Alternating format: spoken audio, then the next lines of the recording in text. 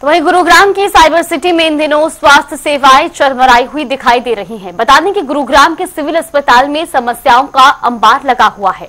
हर रोज हज़ारों की संख्या में अस्पताल में मरीज़ पहुँच रहे हैं, लेकिन मरीजों को समय पर इलाज की सुविधाएँ नहीं मिल पा रही हैं। साथ ही हॉस्पिटल में दवाइयों का भी अभाव देखने को मिल रहा है, जिसके चलते मरीजों को महँगे दामों में निजी मेडिकल स्टोर से दवाइयाँ खरीदनी पड़ रही हैं।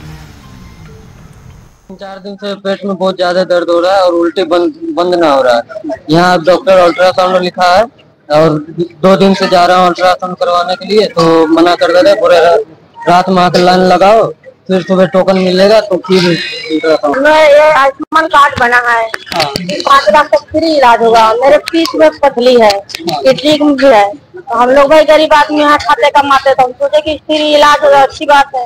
तो अभी बोले अपडेट नहीं हो रहा है। जब पेशेंट पहले भर्ती होगा उसके बाद इलाज चलेगा। बच्चे के गांठ है। तो गुड़गांव सोने है? तो गुड़गांव के दे और गुड़गांव हम आए बोले नंबर लगा के खड़े रहो, कल खड़े खड़े चले गए, दूसरी की पर्ची सिविल अस्पताल में इसमें आया हूँ मैं।